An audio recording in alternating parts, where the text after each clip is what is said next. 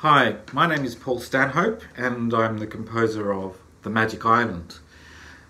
This piece came about uh, when conductor Ben Northey twisted my arm to do it when I really didn't have time to, uh, but I'm so glad he did uh, because this was a great project to work on.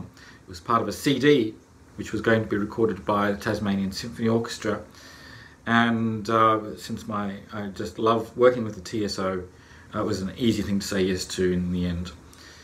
Um, the project was to do with the Hush Music Foundation and the wonderful work they do in, in hospitals. And I took a trip down to Melbourne from uh, from Sydney, where I live, and uh, went to visit Kath in in the the hospital ward where she works uh, with young uh, young patients giving lumbar punctures.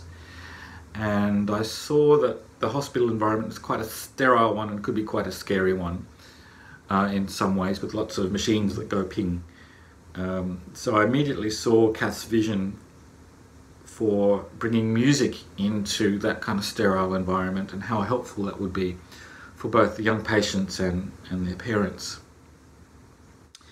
Um, so what I tried to achieve with this piece is a sense of escape from the, the this um, sterile environment of a hospital into a magic world, into a flight of fantasy inside the imagination.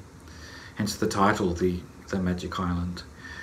Um, and in order to do that, I experimented with lots, using lots of metal percussion, such as crotales and glockenspiel.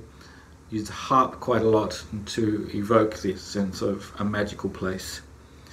A melody then starts in the cor anglais, beautiful low reed instrument, and then gradually moves its way through the orchestra, through to the strings, and then full orchestral forces before it sort of fades away again out into the out into the ether with more metal percussion and, and harp.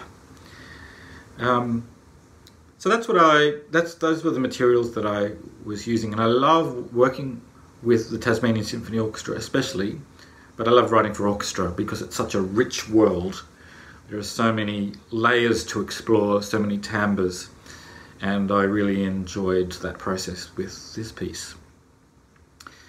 I alluded to the Magic Island, the title before. It's it's also, in a sense, a love song to Tasmania. It's which is a place that I managed to visit most years, and uh, it's always associated with happy memories in working with the the TSO. And uh, I hope you enjoy the Tasmanian Symphony Orchestra's performance of The Magic Island.